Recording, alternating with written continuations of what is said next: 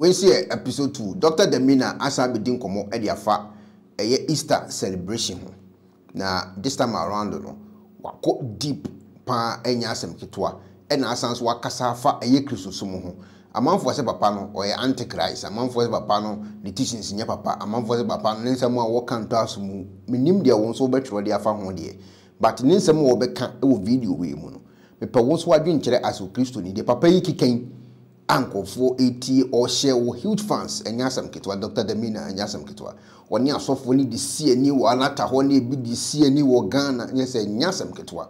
Ɛdeɛ ɔbaa bɛkekan wɔn nso a wɔtie as kristo ni as ogyidi ni no wadwenkyerɛ wɔ ho ɛne sɛn. Deɛ papa yi kan ɛnukura bu mu anaasɛ yɛ ntorɔ. Mesi maa asɛm a mebusa wɔ ne videos ho nyinaa no ɛnukura wɔ mu anaasɛ yɛ ntorɔ. Fa comment gu comment section. At Easter, there's no resurrection. right? What? How should Christians look at the essence of Easter? Christ came to die for my sins, and what else? Well, the whole essence of Easter is predicated on the fact that man sinned and man didn't have the wherewithal to help himself from his sins. Mm-hmm. Man had everything. He had the knowledge to invent, innovate, create, but man didn't have the resources to cure the problem of sin.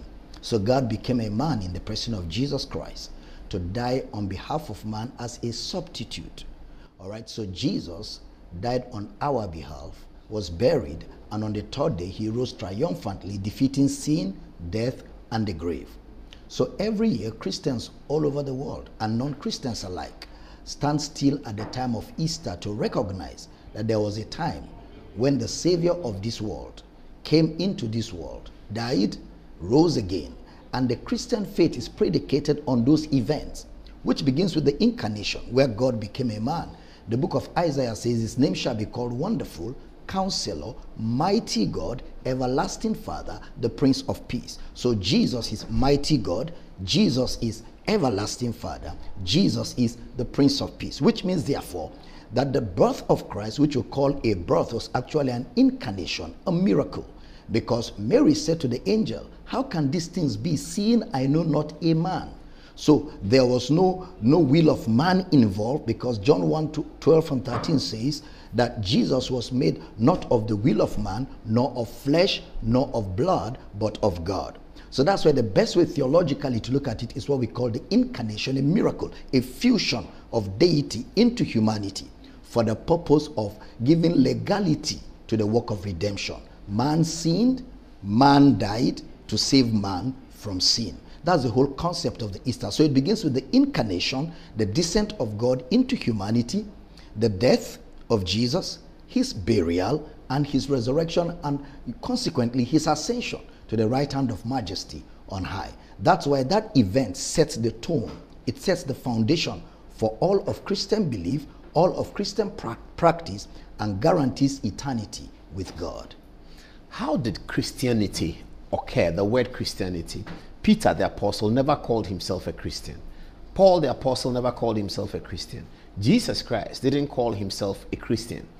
But Jacob, Isaac, they called themselves Jews. And that was the essence of their worship.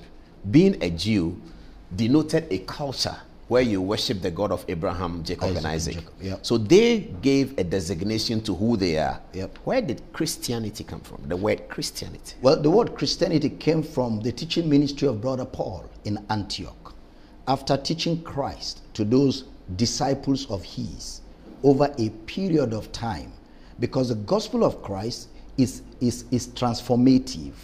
And as they began to focus on that message of Christ's death, his burial, his resurrection, a transformation began to happen in their lives. Where those who observed this transformation could identify the transformation to what they saw in Christ. So they decided to call them Christians, Christ like. That's where Christianity came from, out of Paul's teaching ministry of the burial, the resurrection of Jesus Christ. Christianity is an English word, is it? It's a, it's a, it's a Greek word. Christianity. It comes from Greek. It's a Greek word. Yep. The word Christ is Greek, Yes, Christos is Greek. but Christianity appeared to have been amplified by Rome, the Roman Empire. They spoke Latin, didn't they? Yes, they did. So, did they, as Latin speakers, the powerful political empire, adopt a Greek terminology? Yes, they did.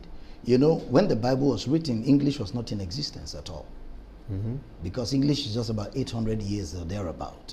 So when Christianity, I mean, when the Bible was written, there was no English language. That's why it's a translation from the Greek and the Hebrew, and of course the Latin Vulgate, which includes, you know, the Aramaic, which is broken Greek, which Jesus spoke. So yeah, it's a Greek word. It's a Greek word. The people who live in Rome, who are not Christians, they look at Christianity as a political empire situated in the Vatican in Rome. And it has been there for 2,000 years. The Roman Empire sort of wrought the Christian philosophy and the religion, and as they say, imposed it on the rest of the world, sometimes through war. How do you relate to the statement that if a person lives in Rome is not a Christian and you tell him, he said, this Christianity is nothing spiritual? It's a political empire sitting at the Vatican. He can point this to you that this is the Vatican, this is the heart of Christianity, this is where Christianity is, this is a citadel of it. It's not any spiritual religion, it's a political authority of Rome. Well, again, remember also when Jesus was on earth, they were the Jews, the Pharisees, the Sadducees, the scribes, the, the, the, you know, the teachers of the law. They were part of the religion called Christianity as a then. And Jesus brought a teaching that differed from what they were teaching, the religious leaders of their day. The Somebody- Judaism leaders, the leaders of Judaism. Yes, Judaism leaders, because they were actually the leaders of the synagogue. Yes, yes. And they constituted the authority of the day. But they were not Christians, they were Judaism people. Yes, that's why I said the Christianity of their day. I'm just using But they that word it Judaism. loosely. Yeah, it's, It's- it's still- called, still Judaism is today. still on till Yeah, so that's what they because were. it's a religion that is based on the worship of the law of Moses Mm-hmm. and the worship by using you know the teachings of Moses in the law, you know as as as, as a way of relating with God.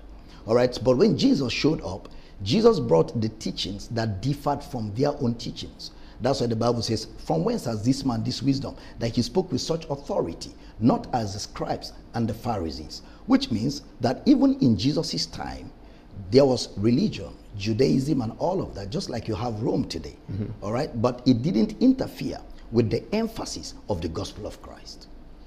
When we talk about Christianity today, the modern Christianity, we sometimes push the law aside and we often say we are not under the law. Is that correct? We're not under the law. We're not under the law? Yep, we're not Okay, under the hold it there. The Bible said, This word of the law shall not depart from your mouth. Yep. You shall meditate on it day and night. Yep. Then will you make your way prosperous Yep. and have good success. I believe it's in Exodus somewhere. No, it's in Joshua chapter 1, verse yes. 8. This word of the law. This book of the this law. book of the law. What law is it? Is that? Okay, so remember Moses is dead.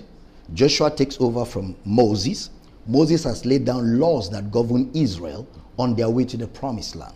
Remember, they came out of Egypt. Moses left them halfway. Mm-hmm. And when Moses was about to die, in Numbers 27, verse 16 and 17, Moses said, Let the Lord God, the God of all flesh, set a man over a congregation that will lead Israel to the promised land. So God asked Mo- Moses to, to recommend, and Moses recommended Joshua. So Moses is dead, Joshua takes over.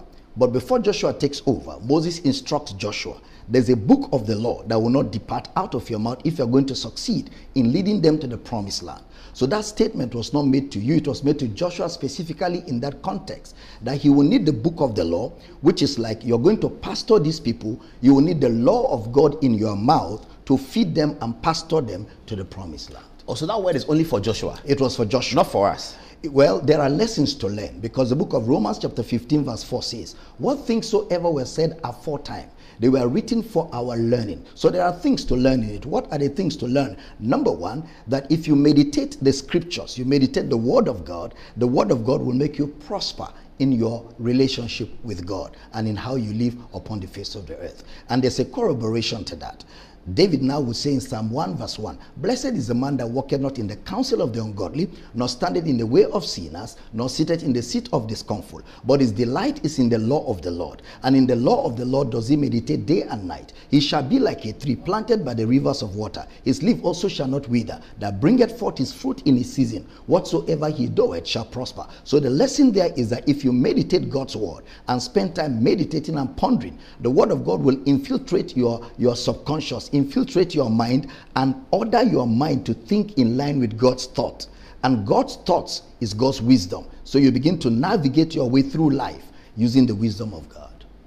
But that's bringing us back to the controversial point. You just said navigate your way through life using the wisdom of God. Yes. So I'm a businessman. Yes. Navigate my way through my business life Yes. using the word of God. I become prosperous. Yes. Another person can be prosperous. Yes. He doesn't use Jesus. Yes. He may use something else. Yes. Because the devil has power to make wealth, isn't it? That's what the Bible said. It said the Lord your God giveth you power to make wealth. And Well, he added again, no that context. The devil told Jesus that I can give all this to you. Well, again, that context has to be explained again.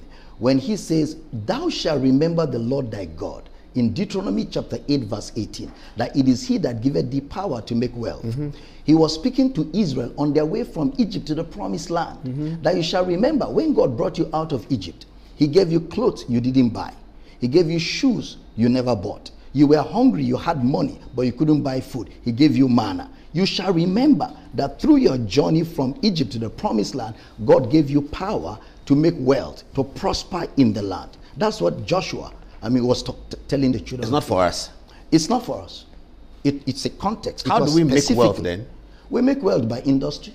We make wealth by business. We don't we don't need to obtain power from God to make wealth. God already gave every human being power. Your brain, you went to school, you studied. That's what the power is to about. Understand. That's what the power is about. So when I pray, should I pray for my business? Oh, sure. You pray for your business, then because you're a child of God, the Holy Spirit gives you direction. He gives you, you know, wisdom. He gives you ideas, concepts. But with all of that, you still need skills developed in school. You need all of that to be able to navigate. What you are saying is that if you have not trained as a lawyer, Yes. there's no amount of law the Holy Spirit can teach you There's and it will work. There's Holy not. Spirit can teach law, but you have to first be a lawyer to be qualified as a lawyer. Is that what you're saying? Yes, you So that you set the foundation for the support of the Holy Spirit to come upon it. Well, even with that, the Holy Spirit is limited to your to your brain power. He cannot make you do what your brain does. But he can give you more information. Well, the Once you're already a doctor, the he information can give the you more Holy Spirit will give you is not in the law profession. It will be in giving you direction on when to speak, when not to speak, where to go, where not to go, when to get involved, when not to get involved. But when he gives you all of that direction, your expertise in law will be required to make you excel in that pursuit. Can he remind you of Article 19 if you needed it in court and you had forgotten? Can the Holy Spirit tell you that check article? Can some can you feel a sense of something says check article 19? Again- And then you open the article and say, Yes, that's what Again, that's part of the leading of the Spirit. Mm-hmm. He will lead you, He will guide you, He will remind you things you've forgotten, but there are things you already know. That's what I'm saying. You've, Yes. read it before in school, but you've forgotten. Yes. Or you have not noticed that it is relevant for the point you're making now. Yes. And then you can be reminded can that check article 19. remembrance. Yes, He can remind you things. Then you make money thereby. Yes, you make money. So Holy Spirit has helped you to make So money. again, remember in our last interview, we said yes, the Holy Spirit will give you direction and leading and help you because you're a child of God. But that is not why you succeeded. You succeeded because you had the required skill, you had the required equipment with which to succeed. So if I'm a pastor and I'm a teaching my congregation and I come to the church and I say that separate the architect sit here, the lawyer sit here, the doctor sit here, the rest of you go to the other auditorium, let me talk to this group of people. And I tell them that you're an architect, you're a lawyer, a doctor, you're sitting in this church. You start your work without prayer. If you're an architect and you have a project, do five days fasting before you start. Hear from the Spirit before you start. And those of you who hear from the Spirit, come and give a testimony. Is that a prosperity gospel? Well, that's not a prosperity gospel. It's not. That's But like but I'm giving. urging that's them like to use the Bible to make money Yes, that's like and come and testify. That's like, and you will need that prayer for every other area of your life. I agree. Exactly. So that's like bringing the fundamental principles of the Christian life to bear for those architects, you know, uh, lawyers, to know that as a child of God, whether you are going to the court of law or not, every day you've got to pray and fellowship with God. You've got to speak to God. Basic principles of the Christian life. And then I add that when you pray and you succeed, give God a dangerous offering. The moment you put that, you've messed up the entire discourse. Why? Why do you have to give God a dangerous offering? Because you acknowledge that it is the prayer and the five days work that gave you a sterling qualities, reminded you of all your architectural principles, and you're able to deliver. So give God a dangerous offering. As long as the dangerous offering is coming as thanksgiving, Yes, it is. oh sure, why not? But that's that, that's the point. It's Thanksgiving, but Yes. it has to be a dangerous one, Well- not some not some two hundred dollars. Heavy, something Well, heavy. But but the truth of the matter is, Jesus said, "Whoever is forgiven much, loveth more." If the person truly realizes that it is God that helped him, you know, to to to, to succeed in life, he wouldn't need to be motivated to do that. He would do it naturally. Yeah, but sometimes you have to talk to them. Sometimes you have to teach them, Yeah. you have to show them their responsibilities, but ultimately they have to make the decision of what they want to give. If and the Bible says, if a man giveth according to what he has, it is acceptable. If I have three pastors and I see one of the pastors is very adept at talking to these professionals and, and reminding them to come and give an offering, and then I give him a role in the pastoral ministry, this guy will be responsible for professionals. Every Wednesday he's going to talk to them. Am I diverting the uh, salvation message? Am I Well- diluting it? Well, for a child of God who has the nature of God in him, the nature of God is given. For God so loved the world that he gave his only begotten Son. You already have that nature in you. You don't need too much uh, mobilization, too much. No, no, no. You just need to come into your realities. The gospel of Christ will stir up those deposits of God in the believer, and they will flow naturally as he begins to grow in the knowledge of Christ. Interesting.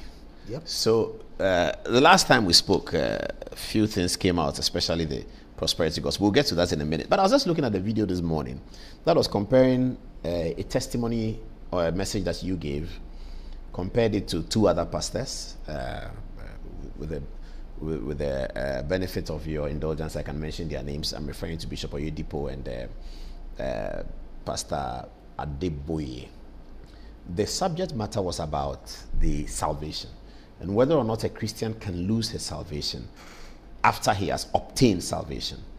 Your view was different from theirs. I'll come to that.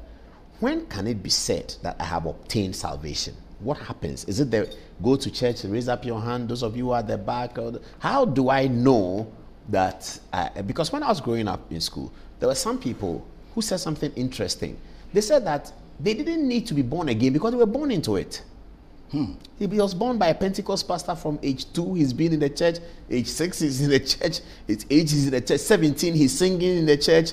The 20, what, what is God is raise your hand. So anytime the altar call, as we called it, Yeah. the altar call came, he was beyond it. So he didn't stand up because he's already in. When does one have salvation? How do you know? Well, first of all, the Bible tells us in Romans chapter 10, from verse 5, 6, 7, 8, 9, and 10. It says, Say not in your heart, who shall go up to heaven to bring Christ down, or who shall go to the grave to raise Christ from the dead. He says, But what saith it? The word is nigh thee, even in your heart and in your mouth. That's the word of faith which we preach. That if you shall believe in your heart the Lord Jesus and confess with your mouth that God raised him from the dead, you shall be saved. So salvation is predicated on the message. When the gospel, and Brother Paul tells us what the gospel is. In 1 Corinthians chapter 15, verse 3 and 4. From verse 1, he started by saying, The gospel which I receive I've delivered unto you. Verse 3 How that Christ died for our sins according to the scriptures, and that he was buried, and that he rose again the third day according to the scriptures. Then he said in verse 14, If Christ be not risen, he says, then our gospel is vain. In verse 17, he says, If Christ is not risen from the dead, then you are deceived, you are still in your sins, which means salvation will be predicated upon the message and understanding of the message of his death, burial, and resurrection. If that message has not been clearly communicated, even if a man answered the altar call, that man is not saved. It has to be the fact that he died as a substitute on your behalf. He was buried, and on the third day, he rose again. Understanding that message, even without coming to the altar, just that understanding within microseconds, you get saved. Let me give you an example. When I was in secondary school, there were a lot of the young boys who didn't want to associate with Christianity, and we called them unbelievers. And uh, there was a big distinction in my boarding school between believers and unbelievers. So, as a junior, one of the seniors called me. He was laughing at me. He said, Why do you call us unbelievers? I want to know. And I said, Because you don't believe in the resurrection of Christ. He said, Just that? I said, Oh, yeah. He said, Oh, but I believe. So I was stunned. I was 13 years old. He was about 17. He said, I believe. That's all. That's why you call us unbelievers. That we don't believe. I believe.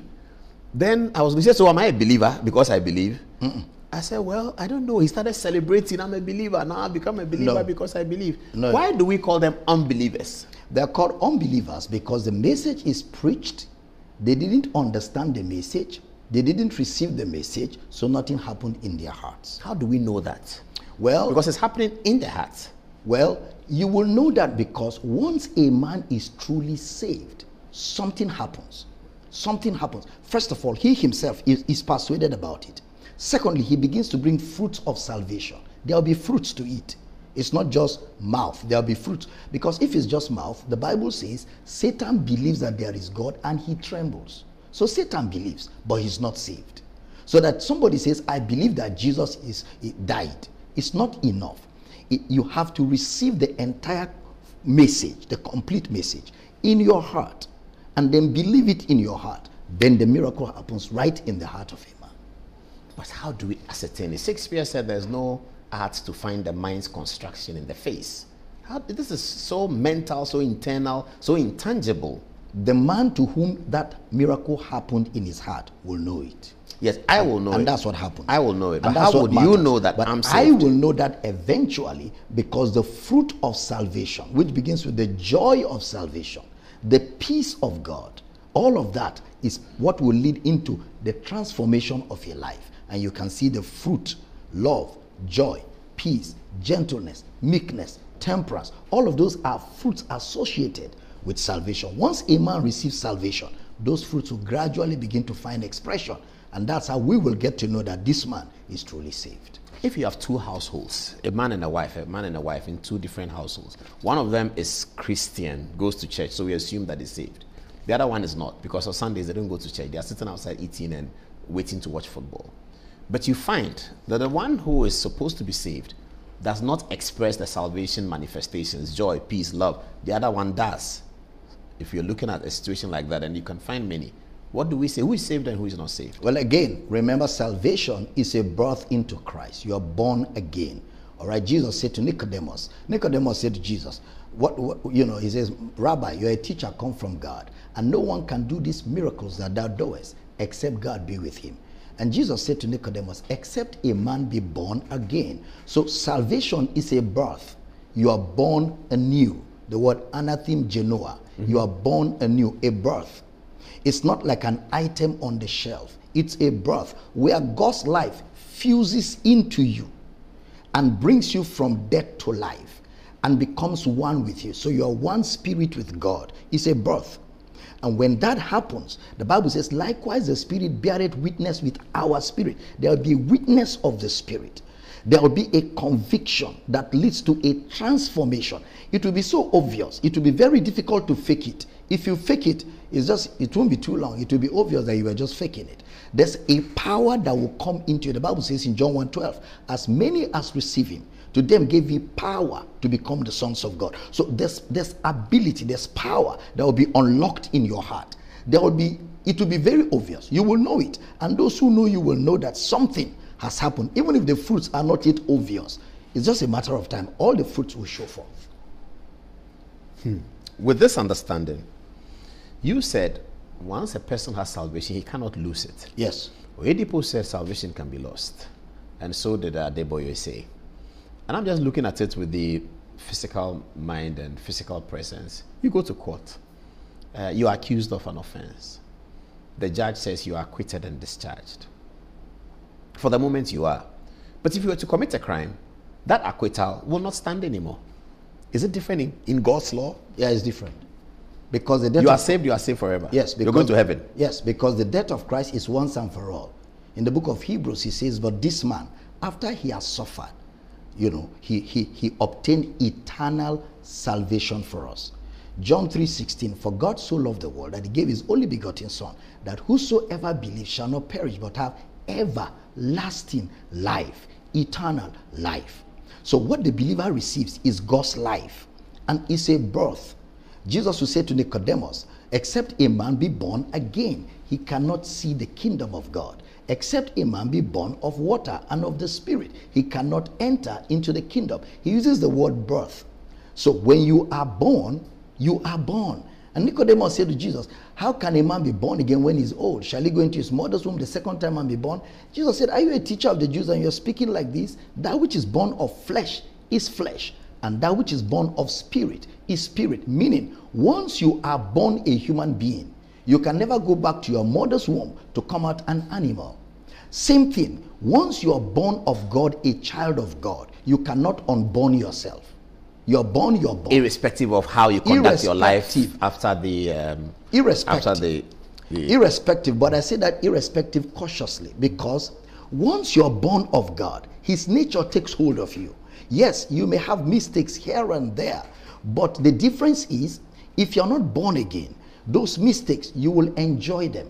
If you're born again, you will know that you are in a territory you don't belong to. You will not have pleasure in sin. You will not. Even if you fall into sin, you'll be sad because you know this environment is not my natural environment. And you want to come out very quickly. But if you fall into sin and you know that this is sin and you did it, are you suggesting to us that because you are saved, your cleansing uh, uh, power is faster and therefore you are cleansed of every sin you commit? But that's what the Bible teaches. So once you are born again, you will go to heaven irrespective of what happens. Well- Afterwards, Once you're born again, because you go to heaven not because you're a good person, you are heaven bound because you believe in what Christ has done. nothing to do with what you, how you conducted your life. Well, how you conducted your life will be affected by what Christ has done as you grow in that knowledge. I don't understand that. Now, so the day you receive Jesus, Jesus comes in, you and Jesus becomes one. But you have a mind that stored up memory of your past life. Now there's a battle between your past life and this new nature that is in your spirit. So we start teaching you the word of God. Your mind, the files, the old files begins to get deleted by the knowledge of God's word and new files are stored into your memory. So your life starts changing. But there are some old files that have not yet gone. So you find out that you are doing some things you used to do before. Not because that is your new destination, but because of memory. So as you keep receiving God's word, the transformation is progressive. That's why the Bible in Corinthians says, But we all with open face, beholding the glory of God as in a mirror, are changed into that same image from glory to glory, even as by the Spirit of God. So the teaching of God's word begins to renew your mind to align with your new reality. And as that reality begins to dawn on your consciousness, your steps, your lifestyle, your speech, your conduct begins to be affected by the new nature in you. You may make mistakes here and there. So if you will slip, you it will be cleansed. If you slip, it will be cleansed because the Bible The says The difference with the other guy who is not born again is that when he slips, he has no redemption. he has no cleansing. Ah, I get it. That's why the book of First John chapter 2 says, My little children, these things write I unto you. He's talking to believers, that you sin not. But if any man sin, we have an advocate with the Father, hmm. Jesus Christ the righteous, who is the propitiation for our sins, and not for ours only, but for the sins of the whole world. John will put it like this again in First John chapter 1, verse 7. He says, When you sin, the blood of Jesus his son cleansed from all unrighteousness. Hmm. The Bible tells us in the book of Ephesians, he says that Jesus may present to himself a church without spot or wrinkle or any such thing, which means you are Jesus' responsibility. You know, uh, Paul, this is it. The word salvation is the Greek word soteria. That soteria is a Greek word that comes from a culture. Now, that word soteria comes from another word, the soter. The soter is like an emperor who goes to battle, defeats his enemies, takes over the territory, lives in the territory to secure the territory. So Jesus is the soter of salvation, the soter of soteria. When Jesus comes in, he conquers your entire life. Then he lives inside you to secure that territory. He doesn't go anywhere. He lives in there to secure that territory. That's why Jesus will say, All that the Father has given to me, none is lost, except the son of perdition, which was Judas Iscariot. That's why Jesus will say in John 10 28 and 29, I give unto you eternal life, and you shall never perish. Neither shall any man be able to pluck you out of my hand. My Father that gave you to me is able to keep you from falling. So once a man is born again, he is born into Christ. Christ secures him. It's like you have a house. Your house doesn't take care of itself. Your house doesn't paint itself. Your house doesn't sweep itself. It is the owner of the house that sweeps the house. It's the owner of the house that paints the house. It is the owner of the house that sustains the house. You are God's house. You are the temple of the Holy Spirit. So it is God's responsibility to clean you of every sin and every stain. It is God's responsibility to keep you always clean and pure from sin. And that is the job of the soter in the in the saved. He lives in you forever. Two more questions on this segment, and then we move on to another segment. The argument in the Garden of Eden. I'm asking this on the basis that we, you said, and other pastors also say, that a man sinned and a man came for redemption. This happened and that happened. The Adam and Jesus. They call Jesus the second Adam. In the Garden of Eden, in the account that we read, the sin was shifted. Adam, in his advocacy before God, said that it is the woman who gave the thing to me. If you read the narrative, the woman first encountered the deceiver. Why did God decide that the sin is the man's sin? So that if he's bringing redemption, he came through a man. Why didn't the redemption come through a woman? Well, remember, the book of Genesis has an after event reportage because Moses wrote Genesis. Moses wasn't there when it happened, which means two things were responsible. Number one, oral tradition. Number two, a vision. And the language of vision sometimes. Oral tradition? Yes, oral tradition. Moses, Moses spoke to somebody? Yes, people, people who documented the events of Genesis. Oh, I sure. thought the inspiration of the Holy Spirit came upon Moses and he wrote everything. Well, the inspiration of the Holy Spirit comes on men not to give them the information, but to inspire them to write. And I in the see. writing, you collate materials. Look at the way uh, brother Paul will put it in 2 Timothy chapter 3 verse 15. He says, "And that from a child you have known the holy scriptures, which are able to make thee wise unto salvation through faith, which is in Christ Jesus." The next verse, all scripture is given by inspiration of God. Now, let me break the two words down. The f- first word in verse 15 says, From a child you have known the holy scriptures. The word holy scriptures is the word herios grammar in the Greek, in the Greek where it was originally written. Herios grammar means you have known the subject matter, you have known the, the content, you have known the letters of the scriptures. Then in verse 16, all scripture is the word pas graphe. Pas graphe means all the writings, the documentation is given by inspiration. So the inspiration of God is in the art of documenting. It's like I said, Mr. Paul, please help me get to government house. When you get to government house, every event you observe, document for me. And then you saw the driver of the president slap the driver of the of the vice president. Now I inspired you to document, but I did not inspire the driver of the president to slap the, the, the driver of the deputy of the vice president. But I inspired you to document. So the inspiration is in the documentation, not in the activities. Because it wasn't the Spirit of God that inspired Eve to sin against God. But the Spirit of God inspired Moses to document the So why do we attribute the sin to Adam and not Eve? well, again, like I says, it's an after event reportage. Yes. So you will now come to the New Testament to truly understand what happened in the Old Testament. Mm-hmm. The Old Testament is called mystery. The New Testament is called revelation. The word mysterion in the Greek. Mysterion means that which requires interpretation. The New Testament is called revelation, apocalypsis. It means to unveil. So the New Testament unveils the Old Testament. All right. So what does the New Testament say about the event in Eden? Paul will say in Romans chapter 5 verse 12, "Wherefore, as by one man sin entered into the world." The word entered is the Greek word esekomai. It means a foreign object that did not exist was introduced into the world. So, where was it introduced from? Jesus will give us answers to that. He says, Know you not that it is not what goes into a man that defiles the man, but what comes out of a man? For from within the heart of man proceed evil thoughts.